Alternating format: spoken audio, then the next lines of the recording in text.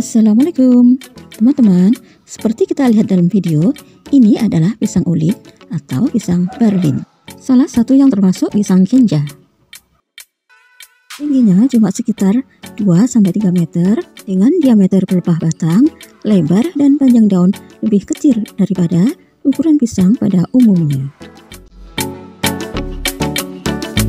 Pelepah batangnya berwarna kemerahan atau hijau muda semu merah.